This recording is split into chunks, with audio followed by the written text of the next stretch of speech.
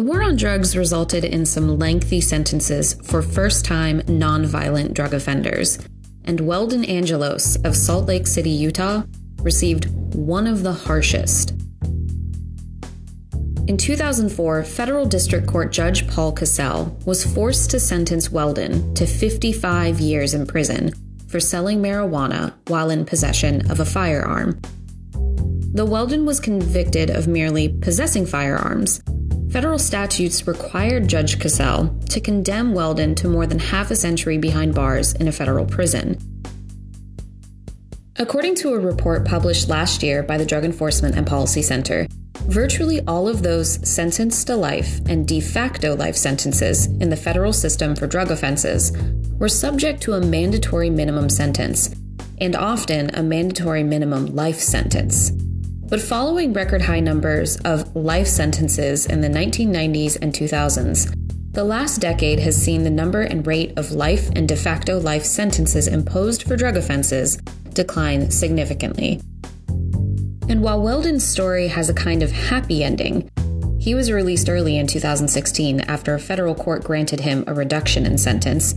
There are countless others like him still serving lengthy sentences for low level, nonviolent drug offenses. Very rarely do we get a peek behind the curtain to hear a defendant and a presiding judge discuss the particulars of a charge, conviction, and sentencing outcome. But for today's episode, we did just that by bringing Weldon and Paul together to reflect on Weldon's case, the laws that forced Paul's hand, and the work they've done since to meaningfully impact criminal justice reform. From the Drug Enforcement and Policy Center at The Ohio State University, this is Drugs on the Docket. Each episode will tell the story of how U.S. court decisions impact drug law and policy and continue to shape the war on drugs. I'm your host, Hannah Miller. Today, we're discussing federal mandatory minimums. If you like what you hear in today's episode, visit go.osu.edu forward slash drugs on the docket to follow the series.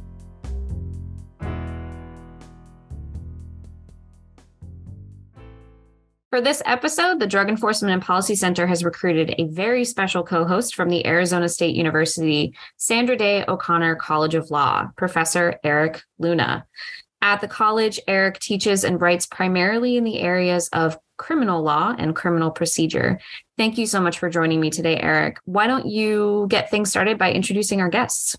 Great. Thank you, Hannah. Uh, it's a pleasure to be here today and a little bit of a participant observer issue because I've had the opportunity to interact with them on a variety of topics. So it's more of an ongoing conversation uh, with our special guests. So let me introduce them without further ado. Our first guest is Weldon Angelos. Uh, Weldon in 2004 was sentenced to a mandatory 55 year prison term for low level marijuana offenses. Uh, thanks to uh, efforts by families and friends and a variety of supporters, his cause was picked up and championed by a variety of politicians from both sides of the aisle, by celebrities, by philanthropists, by leading news organizations like the uh, Washington Post and Rolling Stone. And he was eventually released uh, uh, from prison, and uh, his sentence was fully pardoned in the past few years. Uh, since since that term, he has embarked on a remarkable career in criminal justice reform and advocacy. Weldon, thank you for uh, being here today. Thanks for having me. Our second guest is Paul Cassell. Uh, Paul Cassell is a former U.S. District Court judge in uh, Utah who presided over Weldon's case and uh, was required to hand down a 55 year uh, prison term. Prior to uh, being a U.S. District Court judge, Professor Cassell was a distinguished scholar uh, at the uh, University of Utah S.J. Quinney College of Law, uh, among the leading voices in favor of both some oftentimes difficult, tough sentences, in favor of victims' rights, in favor of law enforcement prerogatives, and in crime reduction. He was faced with Weldon's uh, case within a few years of taking the bench uh, and issued a remarkable opinion. Uh, since leaving the bench, he has returned to the faculty at the S.J. Quinney College of Law uh, and continues his uh, remarkable advocacy in a variety of areas, including victims' rights. Paul, great to have you on board. Great to be here, Erik. Weldon, could you walk us through your case, particularly the facts that led to your 55 year sentence? Yeah, absolutely. So, as a young a young teenager and a young adult, I was working on a career in the music industry. I had a once in a lifetime opportunity to work with legends like Snoop Dogg and Tupac Shakur's recording group, uh, among many others. However, my music ventures weren't stabilized at the time, and so while I was, you know, waiting for this opportunity to really uh, grow, um, I started selling small amounts of cannabis on the side to help pay the bills until some of these deals went through and it became financially stable. And uh, eventually, um, I was approached by a confidential informant, an individual I had known probably when I was 14 years old.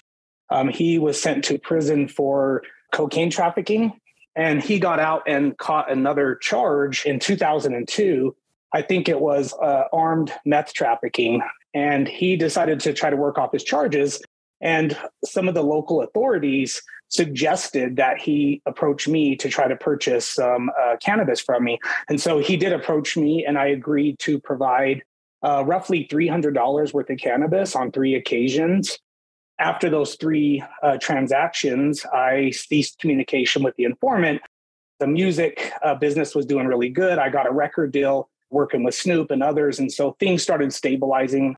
I stopped talking to the informant. He repeatedly called me and requested, um, you know, guns and meth and coke, and I continued to say no. And uh, in November of that year, I was arraigned and arrested for trafficking cannabis as well as having a firearm during uh, the marijuana transaction. And so initially, I was facing a five year mandatory minimum with a, I believe, a, a, year and some change on the cannabis. And shortly after that, uh, plea negotiations were underway, and the government wanted uh, a 16 year plea offer. And to me at the time, I felt that was just ridiculous for one charge of selling $300 worth of cannabis and possessing a firearm in, in connection with that offense. And I've never been in the criminal justice system prior to that. So I, I didn't understand the federal system. I had had friends growing up who had interactions with the state system. Um, neighbors of mine, uh, you know, went to state prison for murder and got out after five or eight years. And so to me, I couldn't fully accept that what they were telling me was was true. Um, and so I didn't accept the plea offer and went to trial. And uh, unfortunately, I lost on 16 of those counts, um, won on a few of them.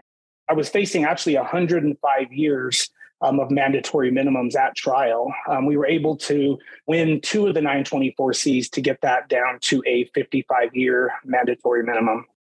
Were you aware that 16 years was maybe a pretty good offer considering what you could have been facing had you gone to trial? My attorney said that they were being completely unfair um, in their offer because the informant and his co defendants also had three 924Cs, but they were all violent felons, admitted gang members, and were selling methamphetamines, and they all got offered a five year plea offer to 1924C count. And so uh, my attorney thought that they were putting pressure on me in the hopes that I would agree to roll on entertainers like Snoop Dogg. And so in my mind, uh, that made sense because of the difference in time. And so I just couldn't accept a 16 year sentence either. Not having been in the criminal justice system before, I didn't think that it was a possibility. I thought the 55 years was just a threat to scare me and that somebody, whether it would be Judge Cassell or, or appellate court, would look at this and throw it out eventually. But soon I realized that was a reality and the federal system um, is pretty unjust. Paul, you were the federal judge that presided over this case. And so, can you tell us how did you view this case and, and walk us through what your conclusion was? You had a personal kind of conclusion, but there was also a statutory led conclusion that you that you had to make. Can you recall that for us? Sure, I got this case just like uh, any other case that I got. Uh, and as a, the presiding judge, it was my job to call balls and strikes, as has been famously said in describing the judicial role. So, case kind of trundled along and got set for trial. And I arranged to have it go to trial for a week uh, with the prosecutor and defense attorney. It happened right along the lines of what Weldon describes. The government had a strong case that he was a low level uh, uh, marijuana dealer, but for a couple of those deals, he had had in his possession a firearm. So he was convicted not only of the drug counts, but also of the firearms counts. The case was pretty much like any other case until I started getting the sentencing information. And what the sentencing information showed was that for those three counts of carrying a firearm in, in connection with a uh, drug trafficking deal, Weldon was looking at five years and then 25 years and then 25 years. Those were under Section 924C of federal law, and they all stacked, was the phrase that was used at the time. So you stack that up, and, and basically, Weldon, in the course of uh, a week or two of of uh, a few small marijuana deals had ended up uh, racking up 55 years of mandatory prison time. And that just didn't seem uh, right to me. So I, I, held a couple of hearings on it before I imposed the sentence. I brought the prosecutor in and said, you know, are, are you serious, basically? Uh, are, are you really asking for a 55 year sentence? And it turned out that they were serious, that basically it was kind of a train wreck situation, as Weldon describes it, you know, accurately. Uh, what was happening was the government was saying, "Hey, look, we're going to sentence you to prison for 105 years or 55 years, so you better take our our plea deal of 16 years." And Weldon and his attorney were they were saying, "Look, that's totally unfair," and so you kind of had this situation where the government uh, had to carry through with its threat, even though that was totally unreasonable there wasn't much for me to do. I had to impose the 55 year sentence. I thought that was a totally unjust sentence. I, I, didn't have any choice under the law. So I decided really all I could do was impose that sentence, kicking and screaming. And, and so I wrote a 50 page opinion saying how unjust it was and, and generally tried to make as big a fuss as I could to, to attract attention to what was happening. If I could, Erik, ask a follow up question of Paul. Of course you know, we've heard of police discretion, judicial discretion, but it sounds like there's also some prosecutorial discretion in terms of what charges are brought against someone. And so it really sounds like as a judge, you were hinting like, are you sure you want to bring these charges? Does it does it go both ways where prosecutors are being maybe a little lenient or prosecutors are being maybe a bit too aggressive? And at the time, was there anything specific about that time that it made sense that they were being particularly aggressive in Weldon's case? Yeah, so let's talk for just a second to set the background for some of the listeners here about the way federal sentencing works. You know, let's take a normal case, I don't know, a bank robbery or something like that. If somebody's convicted, there's a range of possible outcomes. Zero to 25 years is the way it works for bank robbery. And then layered on top of that, you have sentencing guidelines. So the guidelines might say, well, you know, if a bank robber had used a gun or or hit somebody or different things like that, you'd get a few points up or down, and you might have seven or ten years for the for the bank robbery. What's happened very unusually, though, uh, on top of those uh, restrictions, is that mandatory minimum sentences have been imposed, and so for uh, carrying a firearm in connection with a drug trafficking deal, that's where you can get these five years and 25 years that add up on top of that. So you might say, well, okay, but you know, prosecutors, we've got a lot of smart folks in this country that are doing a good job when they're prosecutors and they're exercising prosecutorial discretion and using that discretion to bring serious charges only in, in cases where it needs to be brought. If somebody was hiding a nuclear bomb or was getting ready to provide firearms to terrorists or something like that, maybe, you know, a 55 year sentence is, is what you needed to force them to cooperate and provide information that would be helpful to law enforcement. So the law has these very heavy tools, but I think you find in a case like Weldon's case, uh, the tools can sometimes end up being applied in situations where they weren't really intended to apply. I mean, I, I couldn't find anyone who thought that 55 years was the right sentence for for carrying a gun to a couple of marijuana deals. That doesn't make any sense. In fact, uh, in my opinion, one piece of it that got a lot of attention is I was able to go through and calculate the, the sentencing guidelines for some other crimes. If Weldon had been the kingpin of a major drug trafficking ring that had killed people, he would have gotten something like 20 years in prison. If he'd been a rapist, he would have gotten, I don't know, 11 years in prison, maybe 13 years if he'd raped a child. Of course, he didn't do any of those things, and he's getting 55 years. I mean, I just looked at that and said, that can't be right. That can't be the way to run a federal criminal justice system. And it's it's so out of whack that it, I thought it brought the system uh, into disrepute. Well, let me turn to, to Weldon on that. Weldon, you experienced this. You heard Judge Cassell's opinion in court. You read it. The opinion actually won an award for uh, for judicial writing, and it made a really strong case for the injustice of your sentence. And as was mentioned, Judge Cassell uh, made a pitch to the president to uh, ultimately provide relief. You, however, he had to impose a sentence, and you were sent to prison. Could you share with us uh, a little bit of your experience, having been subjected to a an effective life sentence pursuant to mandatory minimums? and, and how that uh, affected you and affects you to this day. Yeah, absolutely. Because of my sentence being such a long sentence, I was sent to a maximum security penitentiary in Southern California. Um, after I was told I would probably go to a camp because I had no violence and no prior history, yeah, I went to a maximum security. And when I got there, it was a nightmare. Uh, I walked into that prison and it looked like everything you see in the movies.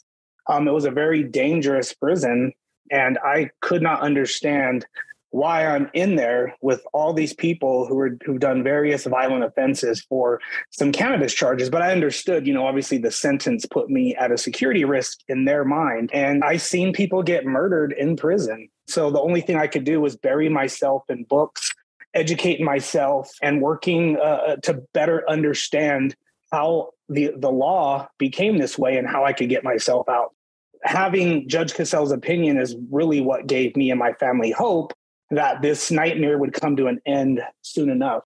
It was just really traumatizing um, seeing everything I experienced in a maximum security.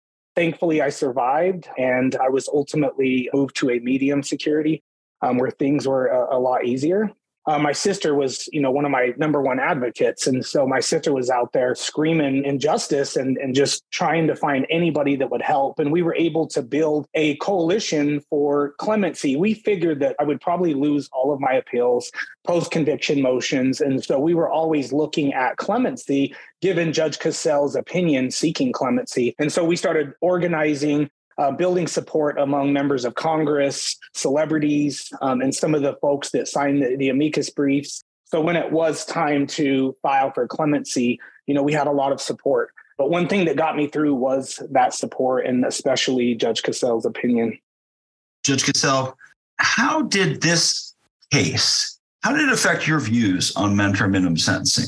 As, as was mentioned at the introduction, you had been a prosecutor, you had been in the Justice Department, you had uh, worked both back in DC and in Virginia. You had been a advocate for a variety of policies that were uh, oriented towards the rights of victims uh, and ensuring public safety. And you were, of course, nominated by a conservative president, George W. Bush, and confirmed by the Senate. This case and your ruling may not have been predicted by many. How did the case and then what happened afterward, how has it impacted your thinking about sentencing or, or mandatory minimums? And how has the the resulting changes how have they uh, both politically and legally how have they affected what you think should occur in the future well, that's a great question and a, and a complicated question. I think uh, it's important to understand the root problem that came up in Weldon Angelos's case, and that's the stacking feature to the 924Cs. I think when Congress passed the law, they, they were concerned, as, as you know, anyone would be about drug trafficking that's connected with firearms, because that can escalate to a violent situation very quickly. So they said, all right, well, let's, you know, throw some mandatory minimums at it. But I think the defect in the law and and the, the problem in the law was the way these things stacked up. So Weldon Angelos, in the course of a very short period of time, racked up 55 years of mandatory jail time. I think what Congress had intended to do was to say, look, if, if somebody like Weldon has a gun and a drug deal and then goes to prison and then gets out and then doesn't learn his lesson and, and goes out and does the same thing again, well, we want to have another sentence on top of that. And then if he gets back out and does it a third time, we want to have another mandatory sentence on top of that. But here, everything stacked up so very quickly, there wasn't any opportunity for Weldon or, or for anyone else subject to these crimes to, to change their ways and become rehabilitated and to move on uh, with their their lives. And so that was one of the things that I highlighted in my opinion. It was the way these mandatory minimums stacked up so quickly and got completely out of whack with anything that uh, you could describe as sensible or or normal sentencing. That was, I think, the biggest thing that needed to be changed. And I was pleased when I guess it was in 20, late 2018, Congress did change the stacking feature of 924Cs, so they no longer stack up. I should be be clear. I'm not completely opposed to mandatory minimum sentences, but they still need to be rational and, and relate to sort of ordinary sentencing. Let me give you an example or two that I think ordinary listeners might appreciate. Suppose society says we've got a very serious problem with domestic violence and domestic abusers are are never going to jail at all. And so the law says, you know, for domestic violence offense, someone should spend a weekend in jail. That would, you know, signal that society is going to take those crimes seriously. But that sentence isn't out of whack with what uh, might ordinarily be associated with a crime like that. 55 years for carrying a gun to a couple of deals is completely out of whack. And that's where I think we had a very serious problem. So, Weldon, you mentioned that while you were serving your time, you built a coalition for clemency and after serving 13 years, you were released, you had early release. And then I believe it was President Trump who pardoned you. Is that correct? Yes. I would love to hear about what you've been up to and the advocacy and what's on your radar right now, and especially your work on criminal justice reform, advocacy for those who remain incarcerated. I've looked at your site, I've looked at the Weldon Project. Yeah, the weldonproject.org and projectmissiongreen.org. I also want to know like what role should the cannabis industry play in these areas because when you were sentenced there were states where weed was illegal and now maybe not the federal system but state systems bit by bit are moving to a place of like you know is weed the worst thing in the world um the attitude shift has been pretty dramatic over the last 20 years. So I'd love to hear your thoughts on just how the cannabis industry should be a part of this conversation. So when I was released in 2016, I was on a mission. I wanted to change 924C stacking. That was my main goal. And uh, a number of the, the reform bills that were introduced in Congress while I was still incarcerated, they failed. There wasn't enough uh, conservative support. That started changing when I was released. Um, you had Senator Mike Lee and Chuck Grassley pushing these reforms. More and more uh, conservatives were coming on board, I think in part due to Cassell's opinion and so when I got out, I wanted to do whatever I could to help them get this over the finish line. And so we started working with the Trump administration on the First Step Act and ensuring that the, the 924C fix was included in that bill. And uh, ultimately, it was included and passed in December of 2018, which, um, you know, was my number one priority. After that passed, I met a lot of people who were incarcerated for cannabis only offenses. One individual was sentenced to 22 years for operating a state compliant cannabis dispensary in California. He followed the law to the T, but was prosecuted federally anyway. And so after the, the 924C statute was fixed, I shifted my attention to cannabis. I thought it was hypocritical for these cannabis businesses all across the country to be able to violate federal law openly and not be prosecuted but you have individuals who are still incarcerated uh, many of them who are in those states that have now went legal and they're still serving these decades long sentences and so I wanted to do something on cannabis policy and also cannabis clemency. And so we brought a number of cases to President Trump of individuals that were serving life in prison for a cannabis only offense. I believe President Trump commuted the sentence of 12 of those, and then a number of other, other cases that we had brought to his attention. Um, and shortly after President Trump left office, the Biden administration had reached out to my organization to start working on a cannabis clemency program because they wanted to focus some of their uh, attention on these cases. And so we started working with them. Erik helped me organize this letter that we submitted to Biden that included people like Drake, Deion Sanders. Um, it had a number of elected officials from both the left and the right. And so it was a very powerful letter that we submitted in September of 2021. Shortly after that, we uh, went to the White House to sit down and meet with Biden's top advisors um, Erik went with us. We also had the former Deputy Attorney General Jim Cole and a number of other advocates that were we were able to go in there and sit down with the White House counsel. I believe the U.S. Attorney for D.C. and a number of other high-ranking White House officials to sit down and talk about this issue. and try to come up with a criteria that maximizes this program's chances of helping these individuals, but also protecting public safety at the same time. And so the White House was very interested in this. Shortly after that, we met with the US pardon attorney who uh, was very interested in adopting this program. And with regard to your question about the cannabis industry, I 100% believe that they have a duty to help these individuals that are still incarcerated just because of the hypocrisy. Federal law does not recognize state marijuana laws. And so I believe the cannabis industry absolutely has a duty to chip in and help out. And I think they have to some extent. Weldon, you brought up public safety. And so it's a really good segue into my next question, which is actually for Paul. A purported spike in crime has been the subject of broad public discussion. And so, has this spike in crime changed or affected your thoughts on mandatory minimum sentencing? You said earlier that you are not fully opposed to mandatory minimums.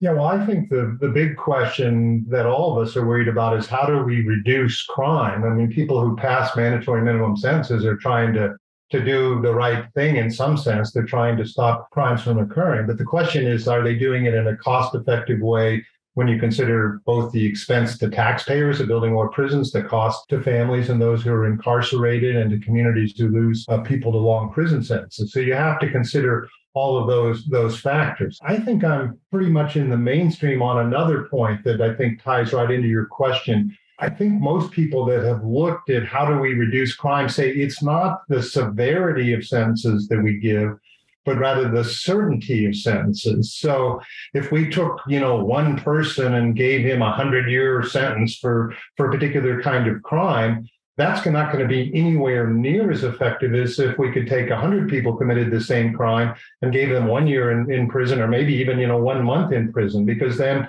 people would know that gosh i'm if i commit this kind of crime i'm certain to get get punished. And so i think what we've seen in the criminal justice system not just in the federal system but all over the country is a low certainty of punishment. Right now if you commit a murder in this country the the chances that you're going to be uh, ultimately convicted are less than 50%. And so, one of the things that I've written some articles about recently is what I'm calling the Minneapolis effect that after the murder of George uh, Floyd in May of 2020, that led to a, a number of police officers pulling back from enforcing sort of routine law enforcement or proactive law enforcement kinds of maneuvers and as a result of that i think that's what caused the crime spike. You can you can go back and if you look at a lot of the data and i pulled some of that in my articles the crime spike the most recent one occurred right around june of 2020 and i think that was a result of police pulling back which reduces the certainty of punishment. And so, you know, you can have as many mandatory minimums as you want after the fact, but if people aren't being uh, apprehended and prosecuted, uh, doesn't make any difference what the sentences are at the end of the process you mentioned proactive policing tactics and when you pull back from proactive policing you may see that that spike in crime or you can at least you know attribute it to some extent to pulling back. Are there any other factors that you can think of that the justice department could play a role in in terms of deterring criminal activity that isn't just letting someone commit a crime and then prosecute them accordingly yeah, that's a great question. Are there obviously there are all kinds of factors that go into into crime rates and to try to uh, run an effective criminal justice system which reduces crime and prevents victimization is is again a goal that I know everyone shares. Let me be clear. I, I think there are a lot of different things one can do. People have talked about you know, chasing after the root causes of crime, reducing poverty, providing employment opportunities, things like that. I certainly am fully supportive of efforts along those lines. But I think we've got to have, if you will, a full court press on crime. That part of that effort has to be an effective criminal justice system. And you can commit a murder in this country and know that you have a less than 50% chance of getting apprehended for that. That's a problem. And we need to think about ways to increase those crime clearance rates. And those clearance rates are even lower if you start looking at other crimes like burglaries and so forth. I think, you know, your chances of getting convicted if you're a professional burglar out there for each burglary are, are, well under 20%. And so we need to think about ways to make law enforcement uh, more effective to increase the certainty of punishment. I don't really think that increasing the severity of punishment is should be our, our top priority. It's it's getting more people uh, who commit crimes into the system through effective law enforcement that should be a priority for us now. That's a really good. And Paul, and, and if you don't mind, I'll follow up and this kind of might cap this off and then we'll turn to Weldon for his final thoughts. I'm wondering whether or not what you've just discussed isn't the basis for a kind of left right detente on some of these things. That if those who might be more in favor of criminal justice reform were more willing to accept some more rapid responses, some certainty of a consequence, while those on the maybe more on the conservative end, at least historically, or more associated with law enforcement, would be willing to for example, uh, uh, allow for a reduction in the length of sentences or to allow a variety of alternatives to incarceration, given how expensive and sometimes morally uh, destructive uh, incarceration can be. Is there something in there where these kind of historically pitted sides of left versus right, law enforcement versus uh, defense or civil liberties, where that maybe not capturing everything that's going on, and instead there may be a kind of sweet spot where all people, both sides of the aisle, might be able to find some agreement that will improve the criminal justice system. Yeah, I think that's an excellent point, Erik. And I think there is some possibility along those lines. I mean, one of the things, this will kind of tie into one of the points Weldon was making is what things should we be prioritizing? And does, you know, is cannabis enforcement a priority right now? I, I would submit no, uh, it's not. Uh, I, if you ask me what my priority would be, my priority is violent crime, uh, and particularly uh, firearms crimes, because you see uh, so many deaths that result from those uh, crimes every year and, and, serious injuries. And by the way, we know that those crimes uh, have produced victims and victims that are disproportionately concentrated uh, among residents of inner cities, racial minorities, and others who are in the worst position to defend themselves against crime. So if you're thinking about what could we do to improve civil rights for uh, traditionally disempowered communities, one of the things we could do is to improve law enforcement and provide safe and secure uh, communities. So I, I, think there really is a, a potential for broad-based uh, bipartisan policymaking in that area. Now, there's going to need to obviously be discussion. People may have different approaches to driving crime rates down and exactly how they should go about it, how law enforcement should go about it. Uh, obviously, there have been instances of law enforcement abuse that have led to distrust between law enforcement and minority communities in a number of instances. We need to address all of that. But I do think that uh, the goal could be shared and then we could be discussing all right what is the best way to get to the goal? The goal is to reduce crime particularly violent crime and provide uh, a safe communities uh, for everyone in our country. The same kind of question for weldon. Uh, weldon you have worked across the aisle in your advocacy work you've worked with lawmakers and policymakers on the left. You've worked with them on the right. And I know you've done a lot of work, obviously, in the drug policy space and with regards to sentencing and other areas. What do you see as the future for criminal justice reform or for uh, the advocacy, the type of changes that uh, are needed in uh, criminal justice, either at the federal or the state level? Where do, where do you think that the emphasis should be going forward to try to uh, improve outcomes to uh, protect the weakest among us in society, to ensure that civil liberties are protected, but also to make sure that predation and and crimes uh, uh, don't occur. Is there is there a a space in which you, given your work, uh, can see um, some important changes coming? Yeah, so I definitely think there's uh, more work needed to be done on sentencing reform providing some retroactivity for the First Step Act. But where I'm seeing a lot of changes, and I think there's going to be a lot more changes in the future, is with regard to cannabis policy on the federal level state after state is are continuing to uh, you know change their cannabis policy some are legalizing recreationally some are legalizing for medical purposes but more and more members of congress particularly on the right are starting to understand that the federal government needs to catch up with the rest of the country. And we've been working on a bill called the States Reform Act that's getting more popular. Um, Amazon endorsed it. There's more and more Republicans in the House that are supporting it. That would essentially put states in the driver's seat on cannabis policy. It's a states' rights bill. It lets each state decide their future with regard to cannabis. And so I think this is an important change. In addition to that, in the short term, I see some hope for passing safe banking, which would allow legit cannabis businesses access to the banking system. There's a lot of problems that are going on, especially in California, where individuals are getting robbed because these cannabis businesses have to work in cash. And so this is another area that I think that we've been seeing a lot of progress, and it actually almost made it into the spending bill uh, on Monday. So I think uh, you know this is a, an area that we definitely need to focus on. Well, with that, thank you so much, Paul and Weldon, for joining us today to discuss mandatory minimums. And thank you, Erik, for your willingness to be my co host for this episode. It's my pleasure. It's always good to talk to my friends, Judge Paul and Weldon. Same here. Yeah, nice to, to be on with everybody. Thanks, everyone. Drugs on the Docket is a production of the Moritz College of Law Drug Enforcement and Policy Center. This episode is produced by me, Hannah Miller, and Holly Griffin. Doug Berman is our editorial advisor. The music is composed by Joe DeWitt.